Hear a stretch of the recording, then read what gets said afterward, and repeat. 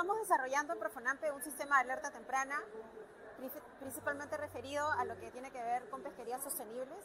Este sistema de alerta temprana lo que busca es identificar los riesgos asociados a toxicidad que puedan dañar principalmente la vida en relación a la salud, el tema productivo en relación a eh, la actividad productiva pesquera que pueda estar dañada por temas de toxicidad y el tercero muy importante en relación a las medidas de adaptación que, están, condicen a las NDCs del Perú.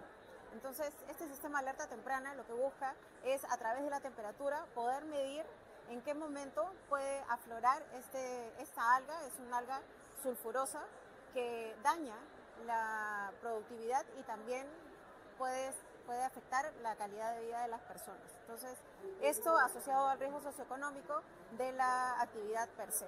Entonces, estamos desarrollando ese sistema donde lo que hemos identificado principalmente es que eh, la gobernanza tiene que ser una gobernanza clara. Hemos trabajado con las comunidades para ver de qué manera podemos, por un lado, desarrollar el sistema y por el otro lado, hacerlo sostenible a través de una política. ¿Quién identifica cómo y en qué momento se reacciona? La alerta eh, está traducida en ese momento en un sistema que va a ser lanzado a través de SMS para poder hacerle llegar la información a la población, principalmente en las áreas piloto donde estamos trabajando y luego ver de escalarlo a nivel nacional en toda la costa peruana. Eh, las comunidades se ven directamente impactadas porque la actividad pesquera es su principal actividad económica.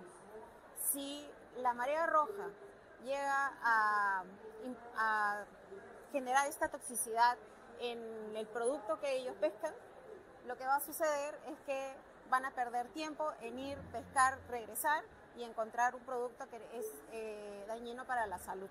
Entonces, teniendo esta alerta temprana, con anticipación ellos pueden planificar no salir a la mar y poder invertir ese tiempo en, en otra actividad mientras el tema de las mareas rojas baja.